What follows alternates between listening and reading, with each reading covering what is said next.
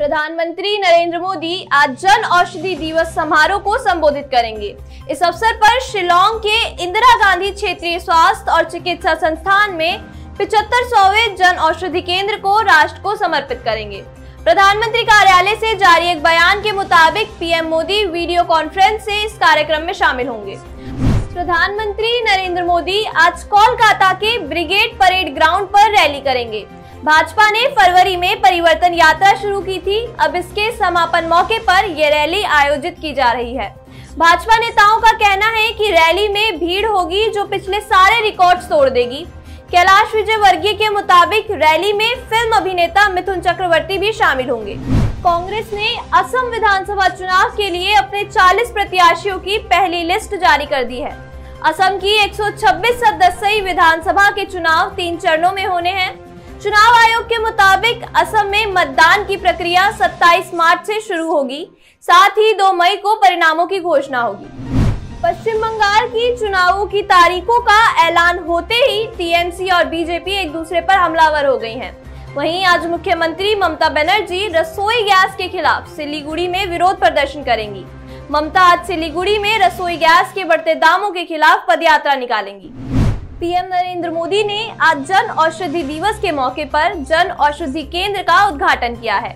उन्होंने इस जन औषधि केंद्र को राष्ट्र को समर्पित किया है, साथ ही अपने संबोधन में लोगों को इससे जुड़े लाभ बताए हैं। पीएम ने कहा है कि पैसे की कमी के कारण लोगों को दवा खरीदने में दिक्कत न आए, इसी के लिए ये जन औषधि योजना शुरू की गई है।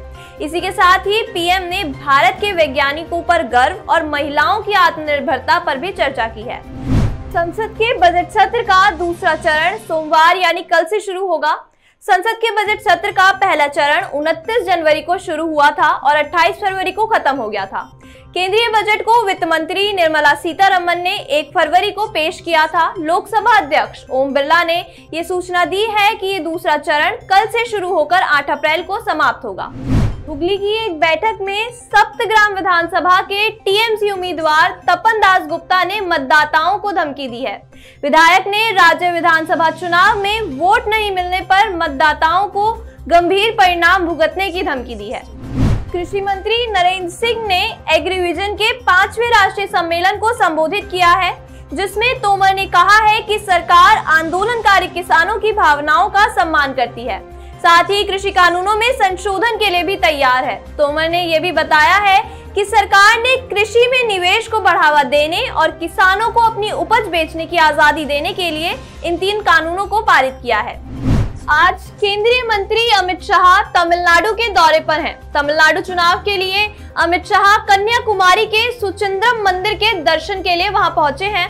इसके अलावा शाह कन्याकुमारी में एक रोड शो भी कर रहे हैं। यहाँ अमित शाह ने डोर टू डोर कैंपेन का भी आयोजन किया है। अमित शाह ने कहा है कि इस बार तमिलनाडु में हमारे गठबंधन की सरकार बनेगी। बजट सत्र का दूसरा चरण 8 मार्च यानी कल से शुरू होने वाला है। इस बीच कांग्रेस अध्यक्ष सोनिया गांधी ने बजट सत्र के दूसरे चरण में मोदी सरकार को घेरने के लिए रणनीति बनाने के लिए बैठक बुलाई है। प्रधानमंत्री मोदी की रैली से पहले बंगाल में हिंसक झड़प की खबर सामने आई है।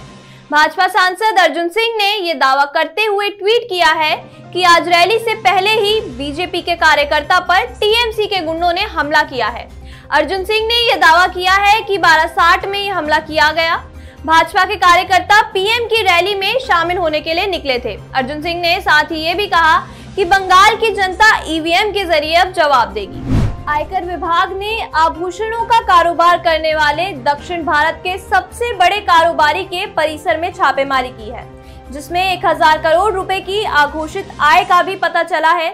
केंद्रीय प्रत्यक्ष कर बोर्ड ने आज इस बात की जानकारी दी है। बोर्ड ने हालाँकि इस बात का खुलासा नहीं किया है कि किन किन कारोबारियों के परिसरों में छापेमारी हुई है।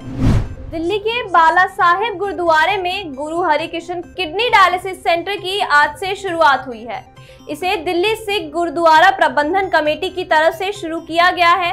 ये अस्पताल दिल्ली के सराय काले खां में स्थित है। दावा किया गया है कि ये देश का सबसे बड़ा किडनी डायलिसिस हॉस्पिटल है, जहाँ 101 बेड हैं, जिनकी संख्या एक साल में हज़ार कर दी जाएगी। दिल्ली सिख गुरुद्वारा प्रबंधन कमेटी ने कहा है कि अस्पताल में मरीजों का इलाज मुफ़्त होगा।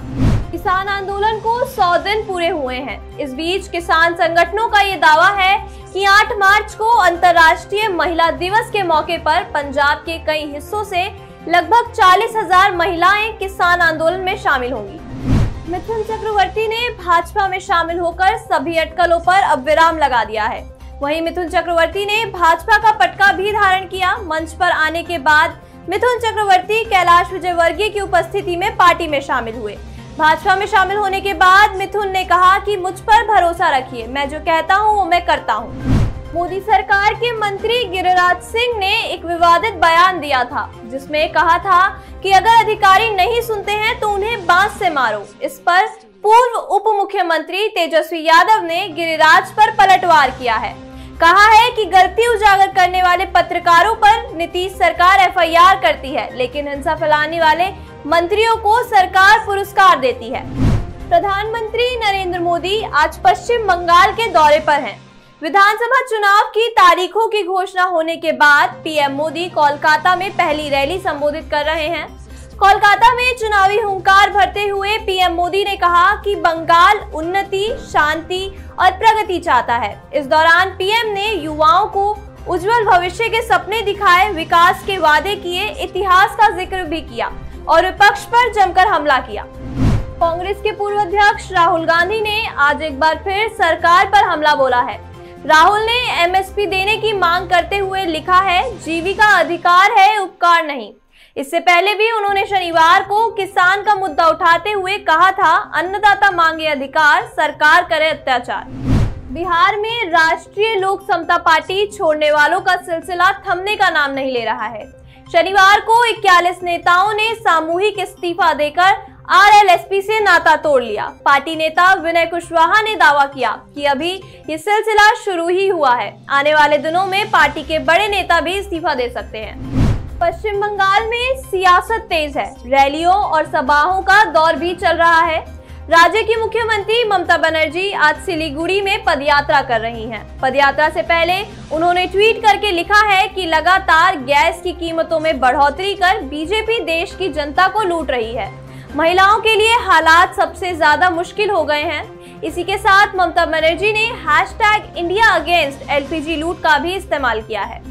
पश्चिम बंगाल विधानसभा चुनावों में नंदीग्राम सीट पर ममता बनर्जी के खिलाफ बीजेपी नेता शुभेंदु अधिकारी उतरे हैं। बेहाला में एक जनसभा को संबोधित करते हुए शुभेंदु ने कहा कि अगर टीएमसी सत्ता में वापस आती है तो राज्य कश्मीर में बदल जाएगा। अभी के लिए इस वीडियो में इतना ही। आगे की जानकारी के लिए फॉलो करें ऑथम न्यूज़ धन्यवाद।